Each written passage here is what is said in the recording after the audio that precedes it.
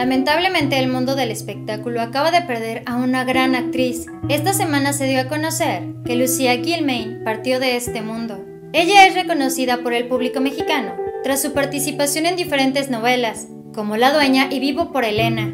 La intérprete perdió la vida a las 14 horas en su domicilio mientras ella estaba acompañada por diferentes familiares. Esto lo informó el también actor, Jorge Ortiz de Pinedo. El histrión, a través de su cuenta de Twitter, escribió el siguiente mensaje. Lamento informar que hoy, a las 2.30 de la tarde, estando en compañía de su hijo Raúl, su nuera y sus nietos, dejó de existir Lucía Gilmain, Lucía Gutiérrez Puerta. Deseo a su familia una pronta resignación y mis más sentidas condolencias. Que descanse Lucía. Al difundirse la noticia sobre la pérdida de Lucía Gilmain, algunas figuras del medio del espectáculo también quisieron expresar sus condolencias. Óscar Ortiz de Pinedo también habló sobre la pérdida mencionando, el día de hoy mi tía, la primera actriz Lucía Gilmain dejó el plano terrenal. Mis más sentidas condolencias a mi primo, a sus nietos Raúl y Caro, su nuera Caro y sus hermanos Juan, Mona y mi madre. Que descanse la gran Lucía Gilmain. Lucía se desempeñó en el arte actoral, principalmente en cine, teatro y televisión. Ella participó en recordadas películas, entre las cuales se encuentran Tajimara y Río Hondo, al igual que Lanza tus penas al viento, Presagio y Más negro que la noche. En cuanto a la trayectoria de Lucía en la pantalla chica, la actriz figuró en telenovelas como Un solo corazón, Marisol, El privilegio de amar y El hotel de los secretos.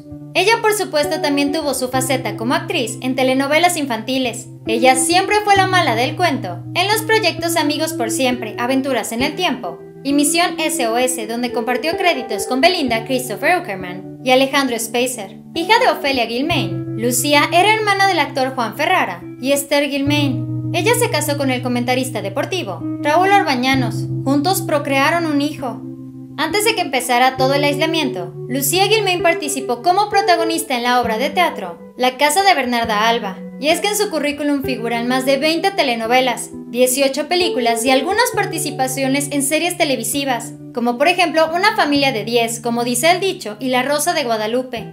Otro papel que también realizó la actriz en donde pudimos notar ese gran talento fue cuando le dio vida a Brígida, una ama de llaves que se encargaba de hacerle la vida imposible y de arremeter en contra del personaje de Suria Vega. Esto mientras grababan la telenovela del 2012, Un refugio para el amor. Al inicio no se había dado a conocer el motivo de su pérdida, hasta que la actriz Victoria Rufo dio a conocer que lamentablemente Lucía se había contagiado del padecimiento mundial. A través de un comunicado, Victoria escribió, Siento una gran tristeza. Que descanse mi querida Lucía Gilmain. Mientras unos hoy se vacunaban, otros perdían la vida sin saberlo. Qué triste.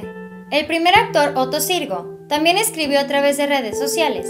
Un abrazo muy fuerte a toda la familia, Gilvain Orbañanos, por la pérdida de Lucía Gilmain, una gran mujer y amiga entrañable. A través de una llamada con el programa de radio, Javier Poza en Fórmula, Juan Ferrara comentó que la pérdida de su hermana fue totalmente inesperada. Lucía no presentaba ni un solo síntoma, él comentó que no había razón para pensar que ella partiría de este mundo pronto. Ferrara señaló que su hermana, además de no presentar ningún síntoma, solo se sentía cansada, pero no había absolutamente nada que sospechara que ella se había contagiado del padecimiento mundial. En esta entrevista, Juan Ferrara aseguró, cuando su hijo la fue a visitar con la familia, le dijeron que mañana le harían la prueba para estar más tranquilos. La prueba se le hicieron a las 9 de la mañana. A las 2 de la tarde, ella perdió la vida, fue algo muy repentino. Los resultados de esa prueba dieron positivo.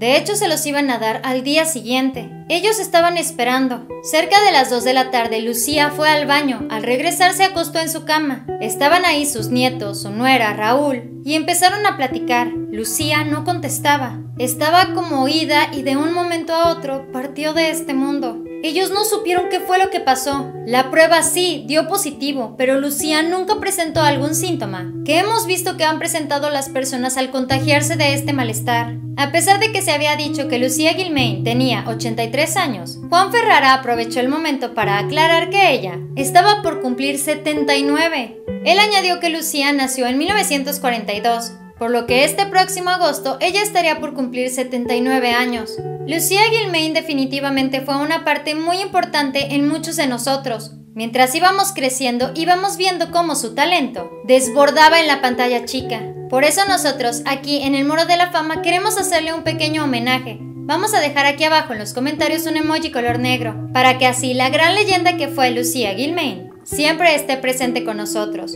No te vayas de este video sin antes suscribirte a nuestro canal de YouTube dando clic aquí abajo, al igual que seguirnos en nuestra página en Facebook. Para que sigas viendo nuestro contenido, yo te recomiendo que veas este siguiente video. Espero que tengas un excelente día, nos vemos muy pronto. Bye.